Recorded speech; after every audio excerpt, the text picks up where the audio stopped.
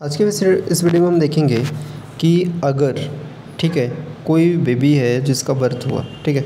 तो क्या होगा, उसमें मल फॉर्मेशन के कारण क्या होगा कि ट्रांसफॉर्मिंग ग्रेड वेसल्स देखने को मिलेंगी, ठीक है? मतलब कि जो लेफ़्ट में आयोटा है, वो राइट पे अगर शिफ्ट हो जाता है तो उसको कैसे ठीक किया गया? तो उसको सर्जिकली तो ठीक कर देते हैं बट क्या होता है कि उसमें जो डक्टस आर्ट्रियोसस होता है वो क्या रहता? है नॉर्मली क्लोज रहता तो उसको ओपन करने की ज़रूरत पड़ती। है तो उसको ओपन कैसे किया जाए? तो उसको ओपन करने के लिए जो होता है, हम क्या देते हैं? इन्हीं जो प्रोस्टेग्लैंडियन है ना इसमें पी जी ई टू करके है, इसको दिया जाता है मतलब इसका एनालॉग दिया जाता है, क्योंकि ये बढ़ेगा, ये जैसे ही बढ़ेगा तो वो ओपन होगा और इसको इनिवेटर देते हैं तो क्या हो जाता है क्लोज होता है। तो हमने देखे थे पिछले वीडियो में कि अगर इसको इनिवेटर देते हैं कॉक्स इनिवेटर तो वो क्या हो जाता था क्लोज हो जाता था। बट हमको क्या करना है एनालॉग देना तो इसको बढ़ाना है। तो जैसे ही ई टू बढ़ेगा तो क्या होगा भाई ओपन हो जाएगा वो डक्टस आर्टरियोसस और वो कंडीशन ठीक हो जाएगी।